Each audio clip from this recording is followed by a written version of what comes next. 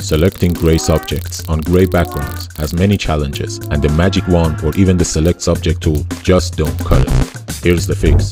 Go to layers and create a copy using Ctrl J. Head over to filter, stylize, find edges.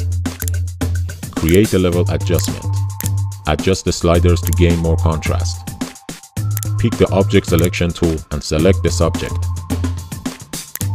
Hide these and create a mask for the original layer. Select the mask and go to Image, Adjustment, Brightness Contrast.